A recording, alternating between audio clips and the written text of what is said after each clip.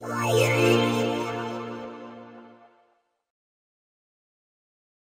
everyone, in this video I'll be showing you how to fix the iPad keeps restarting issue with the safest and easy way possible.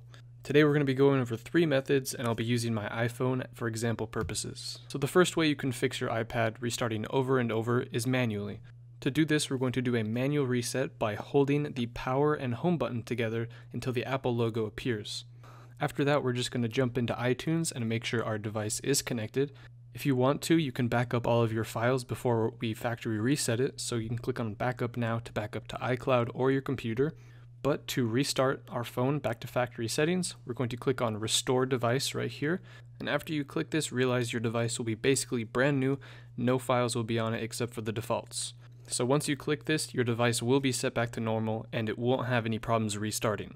And the other method we're going to talk about is using iSkysoft iPhone Data Recovery, a program you can get online for free or purchase it if you would like. I just connected my device as well as launched the program. So to repair this, we're going to go down to Fix iOS to Normal. In this case, I don't need any repair because my device is okay, but you might find that your device isn't even able to connect. To fix this, simply go through the prompts that will allow you to have your device connected to the computer. And after that, all you have to do is go through all of the steps that come up on the screen, and before you know it, all of your iPad restarting problems will be fixed. And do note, of course, that this does the same thing as iTunes does. It's going to set it back to factory settings, so make sure that you have all of your data backed up that you would like.